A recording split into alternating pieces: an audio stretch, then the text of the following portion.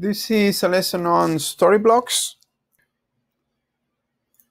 Story blocks are full Prezi flows already made like in a template way. But instead of being a template, story blocks are flows that will help you achieve a specific purpose uh, within your presentation. Let's say that you need to create a timeline uh, talking about the history of your company. You have different options on storylines that you can use directly and then just modify the content. As always, when you include an element from your library, it will adopt the style that we have for our presentation. Look at the lesson on themes to find more about it. So we added a topic. We dragged and dropped a timeline, the one that we like more.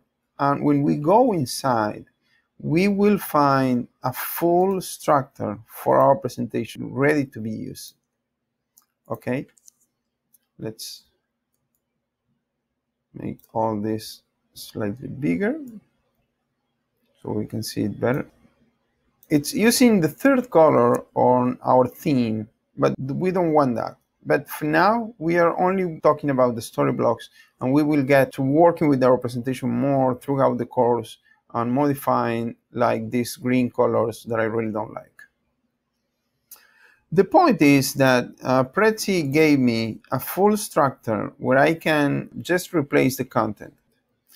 So let's try with a different element. We are going to delete this one delete these two and let's try to insert something different. Let's try with the map. Let's see what options do we have for maps. On a world map. And let's close this. And let's go inside. So we have uh, a map with different elements of which we probably want to change the colors but ready-made where we have even the markers for the map and we can insert text. Let's say uh, where we are.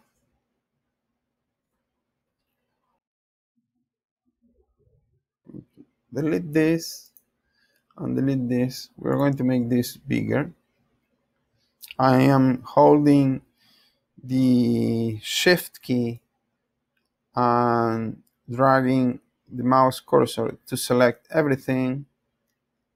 I'm, I'm also going to right click and group them so they behave as one element. When I click here, once it's grouped, it's selecting everything.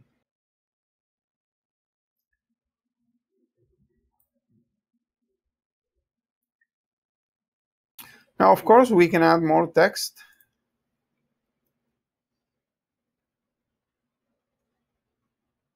and say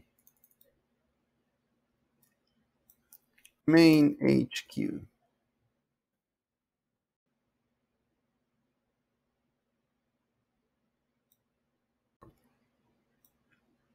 Okay.